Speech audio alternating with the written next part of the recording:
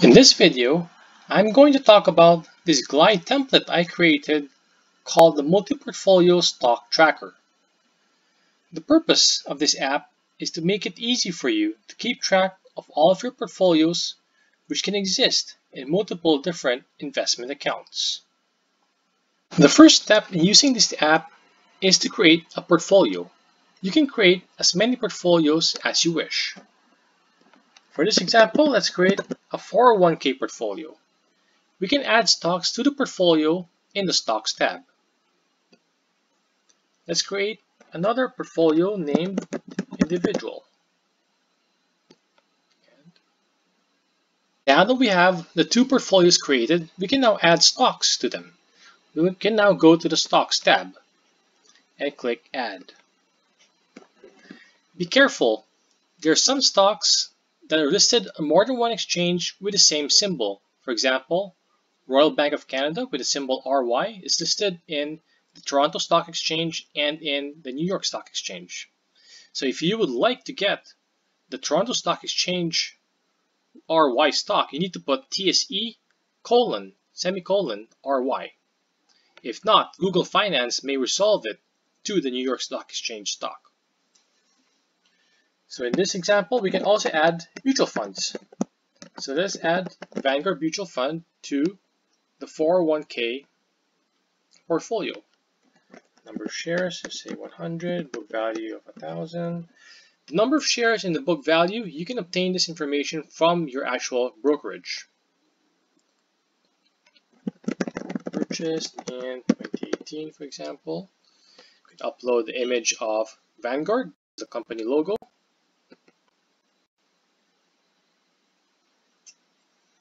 Once it uploads, we can now click Add. Wait for a few seconds for Google Finance to fetch the data for this. And here we go. Let's add another stock. In this case, let us add VXUS also to the 401k portfolio. Number of shares 10 again. Let's say book value is 500. You can add then let's add some stocks to the individual portfolio.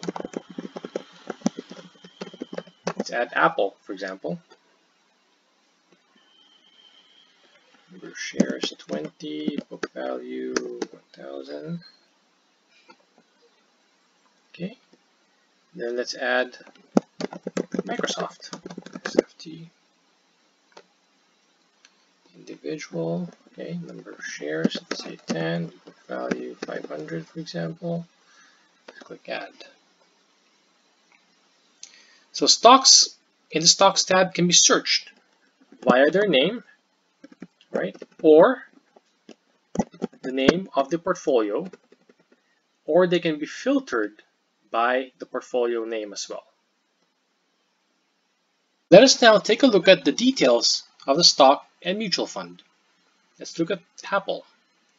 This first information says the last quote exchange time. Shows the date and the time.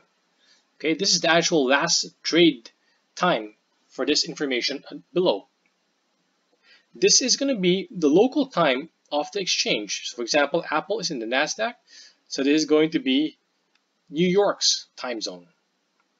We can see the portfolio that's assigned to, the price, the previous day's price change, the percentage of that change, the number of shares which you provided, the market value, which is the price times the number of shares, the book value, which you provided, and the average cost per share, which is going to be the book value divided by the number of shares, and the gain or loss of that stock.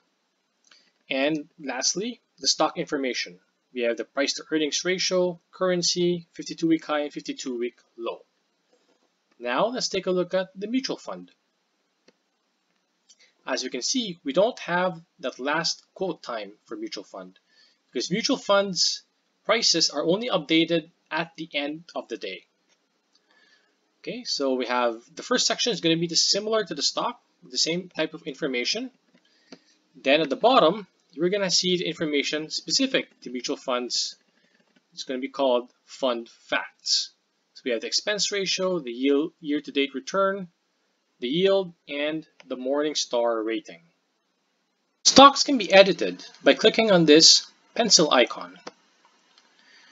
You can change the symbol, the number of shares.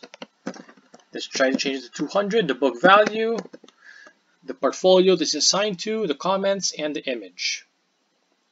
The change is effective immediately. As you noticed, the market value has now changed, as well as the average cost per share and the gain or loss based on the new book value and the number of shares. Let us now take a look at the portfolio. So as you can see, says right here, quotes are not sourced from all markets and may be delayed up to 20 minutes.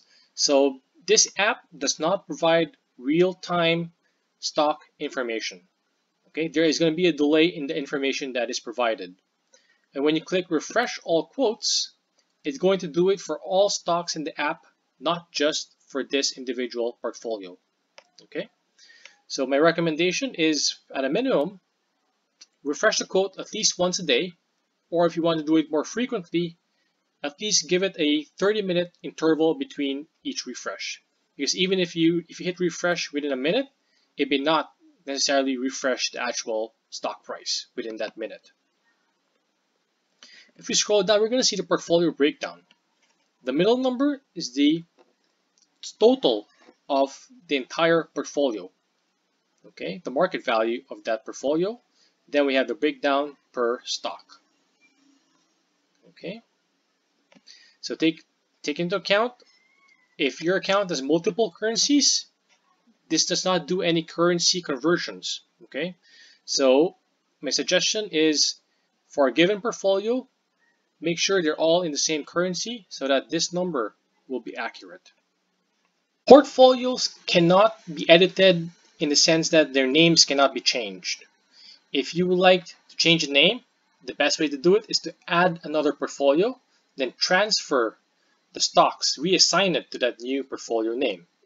But they can be deleted only if all of its holdings have been deleted. So in this example, the 401k, let's delete these two holdings. We go to stocks. Okay, we have to delete each stock individually. Delete. Right here, I'm going to delete this one.